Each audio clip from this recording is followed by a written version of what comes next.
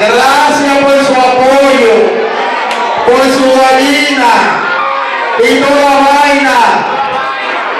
African people.